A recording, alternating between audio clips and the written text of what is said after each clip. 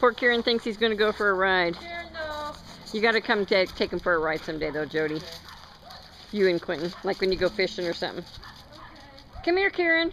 Come on. Come here. Come on. well, I haven't said I haven't said hi to. I haven't got to say hi to Tink. Ciaran, come. come here, Ciaran.